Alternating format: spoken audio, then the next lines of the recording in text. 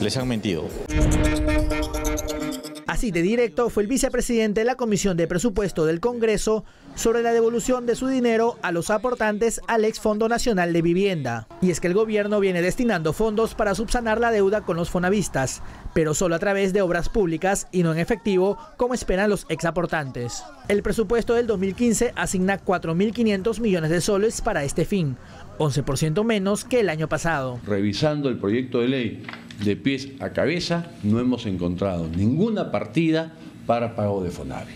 Pese a que el Estado los ha hecho empadronar una y mil veces, pero partida presupuestaria no hay, no le he encontrado. Las estimaciones sobre la suma de las deudas individuales con los fonavistas varían entre los 3 mil y 10 mil millones de soles. Pero la comisión ad hoc que maneja el proceso de devolución no ha dado información ni sobre el monto de la deuda ni sobre el número de aportantes que cobrarían su dinero.